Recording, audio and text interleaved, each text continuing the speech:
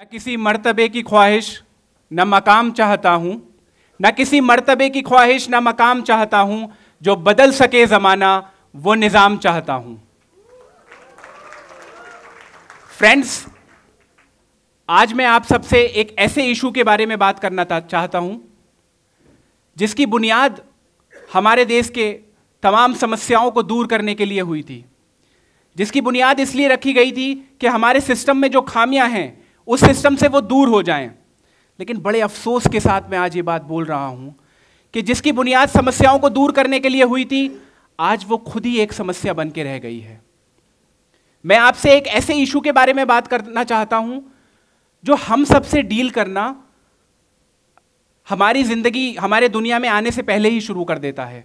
एक ऐसा इशू जो ये डिसाइड करता है कि एक प्रेग्नेंट वुमेन को एक गवर्नमेंट हॉस्पिटल में डिलीवरी के लिए बेड मिलेगा या नहीं मिलेगा। एक ऐसा इशू जो ये डिसाइड करता है कि जो डिलीवर्ड चाइल्ड होगा, उसको अच्छी एडुकेशन मिलेगी या नहीं मिलेगी।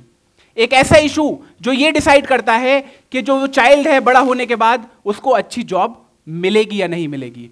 यस माय डियर फ्रेंड्स मैं पॉलिटिक्स की बात कर रहा हूँ। ये वही पॉलिटिक्स है जिसकी वजह से हमारा देश आज दुनिया में सबसे करप्ट नेशंस में जाना जाता है। ये वही पॉलिटिक्स है जिसकी वजह से आज हमारा देश हंगर इंडेक्स में हंड्रेड रैंक पे आ गया है आउट ऑफ़ 119 कंट्रीज़ ये वही पॉलिटिक्स है जिसको रिटर्न ऑन इन्वेस्टमेंट का मॉडल बना के रख दिया है। आप 15 करोड़ रुपए एक पार्लियामेंट्री इलेक्शन में खर्च कीजिए और अगले पाँच साल तक 50 करोड़ रुपए कमाने की जुगत में लग जाइए। ये वही पॉलिटिक्स है जो हज़ारों फार्मर्स को सुसाइड करने से नहीं रोक पाया। हज़ारों वीमेन का रेप्स नहीं रोक पाया।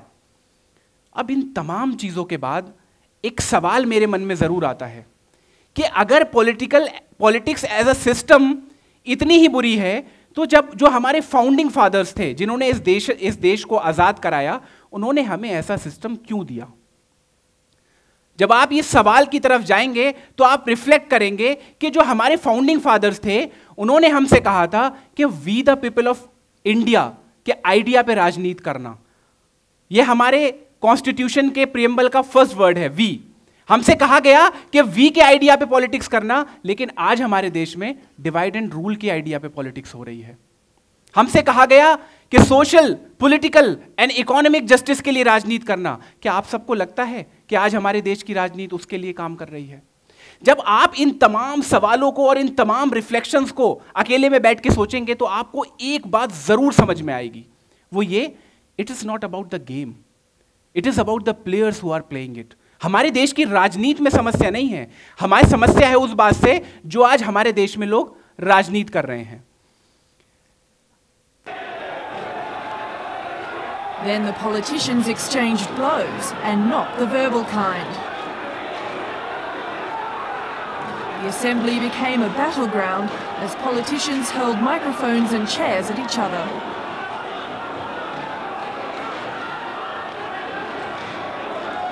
Some ran for cover, others fought on. शायद इससे आगे मुझे कुछ कहने की ज़रूरत नहीं होगी कि हमारे गेम में नहीं क्योंकि फाउंडिंग फादर्स तो कह गए ना इसी पॉलिटिक्स के ज़रिए आप एक बेहतर भारत बना सकते हैं। It is about the players not the game क्योंकि बहुत ज़िम्मेदारी के साथ मैं आप सबसे एक बात कहना चाहता हूँ कि अगर आप इस समाज में चेंज लाना चाहते हैं। आप चाहते हैं कि जो हमारे सिस्टम में प्रॉब्लम्स हैं, हमारा देश जिन समस्याओं को आज महसूस कर रहा है, अगर आप उनको दूर करना चाहते हैं तो पॉलिटिक्स ही एक वो ज़रिया है जिससे आप लाखों, करोड़ों और अरबों लोगों की ज़िंदगी पे सिर्फ़ अपने एक फैसले से फ़र्क डाल सकते हैं। अगर आप इसकी नेगेटिव कनोटेशंस जो इससे अटैच्ड हैं, उनको हटा दें। कुछ लोग कहते हैं कि पैसों से भी लोगों की ज़िंदगी में बदलाव आ सकता है। लेकिन मैं आपसे पूछना चाहता हूँ, जो इस पूरे दुनिया का जो सबसे बड़ा आदमी है, जिसके पास सबसे बड़ा पैसा है, अगर वो इस देश और समाज को बदलना चाहे तो वो अपने पैसों के ज़रिए से कितने लोगों की ज़िंदगी बदल सकता है? एक लाख, दो लाख, चार लाख, दस लाख, मुझे लगता है ये मैक्स है। लेकिन आप अगर पॉलिटिक्स में हैं तो आप अपने एक फैसलों से हज़ारों, अरबों, करोड़ों लोगों की ज़िंदगी बदल सकते हैं। कैसे? नेशनलाइजेशन ऑफ़ बैंक हुआ जब हमारे देश में, हमारे देश के पूरे, ये एक फैसला था जो पॉलिसी लेवल पे लिया गया। हमारे देश के पूरे इकोनॉमिक सिस्टम को बदल के रख दिया। गरीबों के लिए बैंक्स के रास्ते खुल गए। तमाम ऐसी स्कीम्स आई जिसने हमें बैंकिंग से जोड़ के गरीबों के लिए हम पॉलिसीज़ बनाना शुरू कर दें। थोड़ी पुरानी बात थी, नई बात करते हैं। 2005 में राइट टू इंफॉर्मेशन एक्ट आया।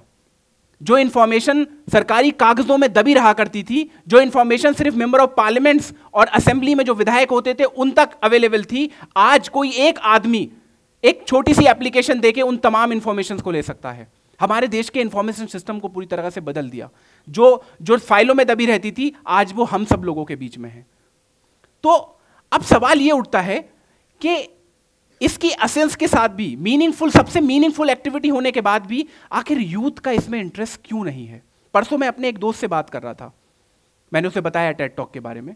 तो वो कहने लगा politics is nasty it's cliche यार. कहाँ चक्कर में पड़े हो? जब इस तरह के स्टेटमेंट देश के युवाओं से सुनने को मिलते हैं तो बड़ा डिसअपॉइंटमेंट होता है।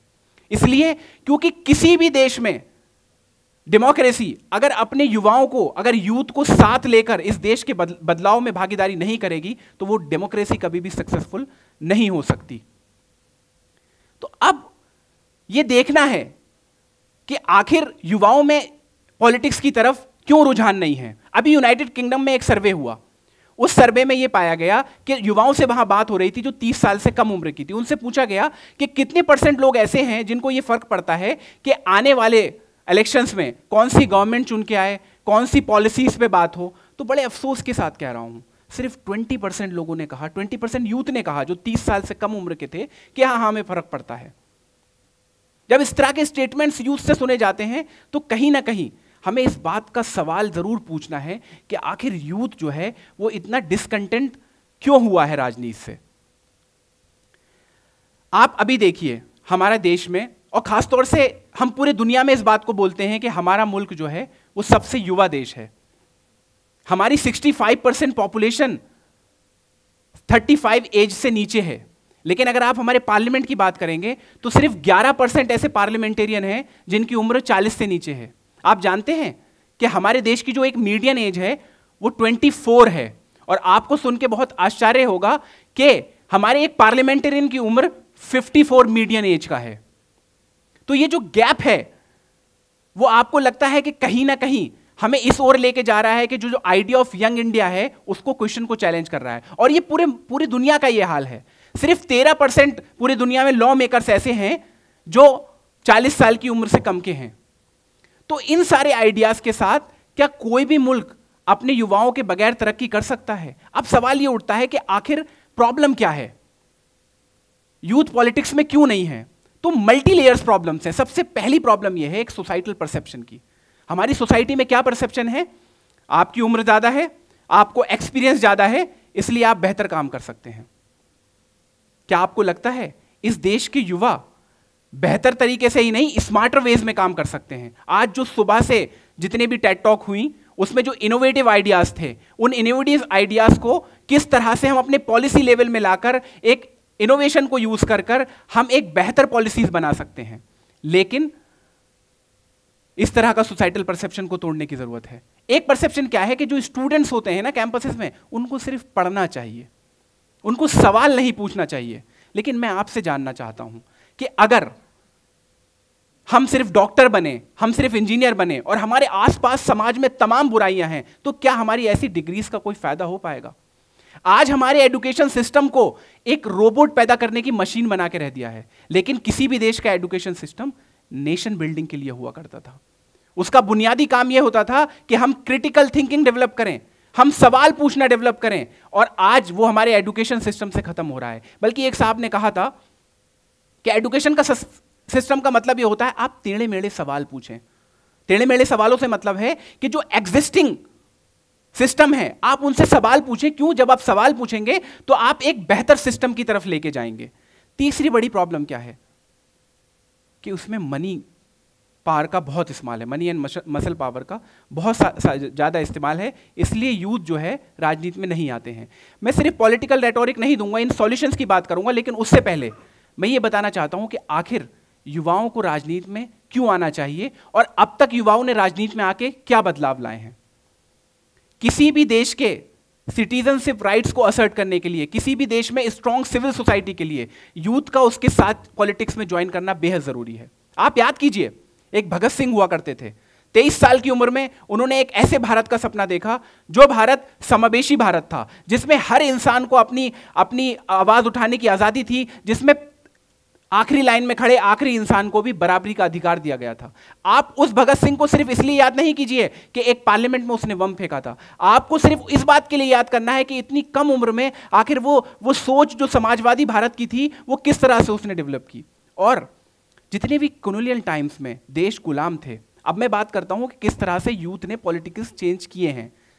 जितने भी कॉलोनियल टाइम्स में देश गुलाम थे, उनकी अगर आप फ्रीडम आंदोलन को पढ़ेंगे तो आपको यह आएगा कि सबसे ज़्यादा सड़कों पर जो फ्रीडम की लड़ाई लड़ रहे थे, वो उस देश के युवा थे, हर देश के। मैं अपने देश की बात करूँ, जब इस देश में इमरजेंसी लगाई गई, उस वक्त उस इमरजेंसी के खिलाफ आवाज़ उठाने वाले पटना यूनिवर्सिटी के एक मैस में स्टूडेंट्स कुछ बैठे थे, उन्होंने उसकी आवाज़ उठाई और वो फिर लड़ाई पूरे देश में आग की तरह फैल गई। आप मौजूदा हालात की बात कीजिए, याद कीजिए, निर्भया आंदोलन में सड़कों पर कौन था? अन्ना आंदोलन हुआ। सड़कों पर कौन था? सिस्टम को जो हमने हिलाया जिस तरह से।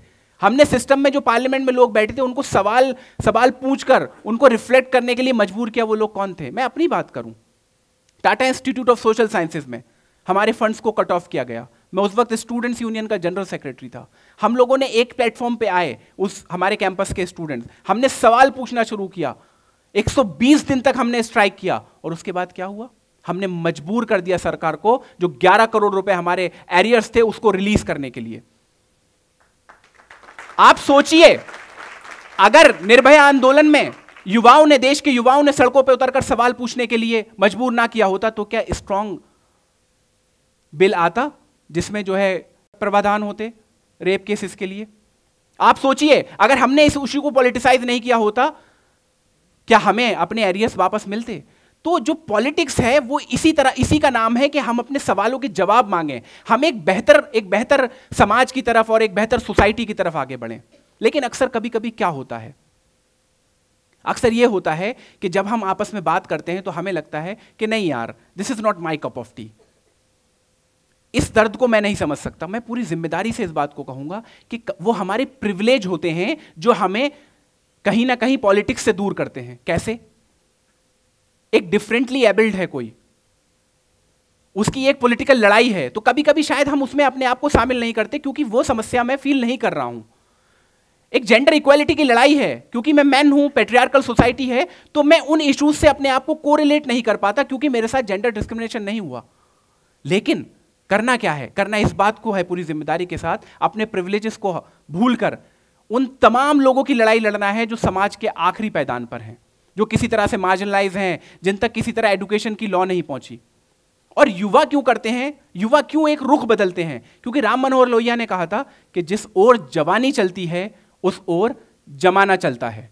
जब हम एक चीज़ की शुरुआत कर देंगे तो कहीं ना कहीं वो आगे जाएगी।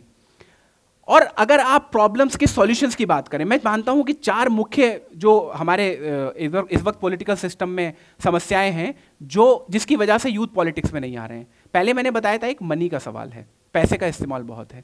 क्या इस तरह की रेगुलेशंस ना बने? कि स्टेट फंडिंग किया करे इलेक्शन लड़ने के लिए। चार कैंडिडेट होंगे, चारों कैंडिडेट्स को गवर्नमेंट लड़ने का पैसा देगी और ऐसी मॉनिटरिंग होगी कि उससे ज़्यादा हम पैसा खर्च नहीं कर सकते इलेक्शन में। जब इस तरह का सिस्टम आएगा तो हमें बेफिक्री होगी कि राजनीति में जाने के लिए बहुत ज़्यादा पैसे की ज़रूरत नहीं है। और जब इंसान बहुत ज़्यादा पैसा नहीं लगाएगा तो जो करप्शन है वो कहीं ना कहीं हम एक लेवल पर कम कर देंगे।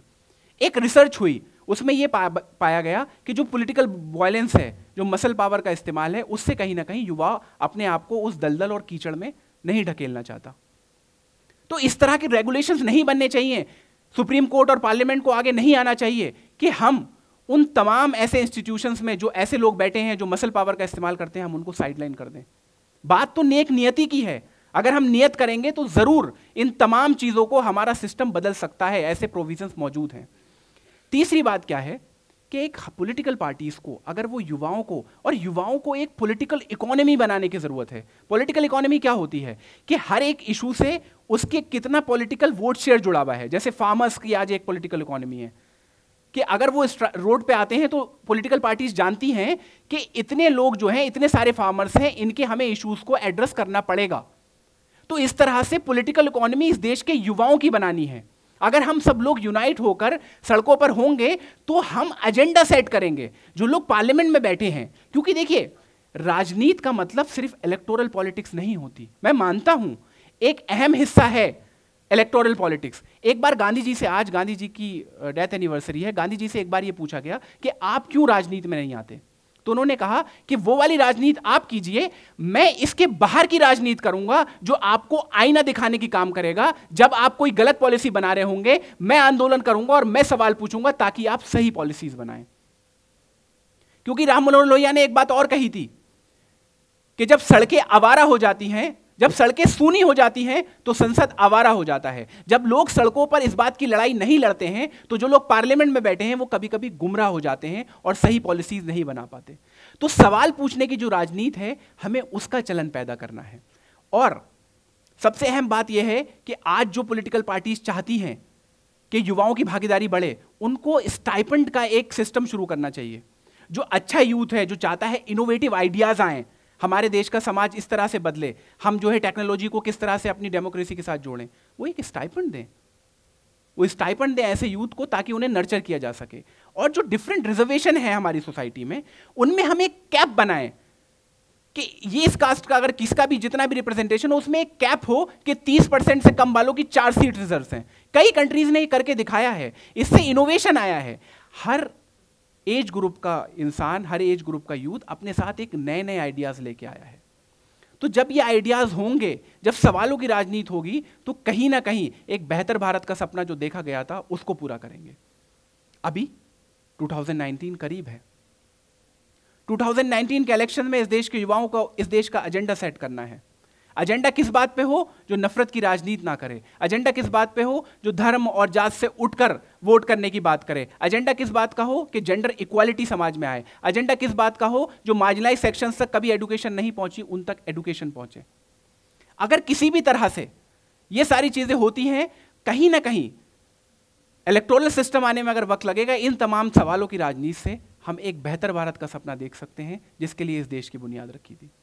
मैं इसी के साथ साथ अपनी बात खत्म करूँगा कि ना किसी हम सफ़र, ना किसी हम सफ़र, ना किसी हम नशी से निकलेगा, हमारे पाओं का कांटा हम ही से निकलेगा।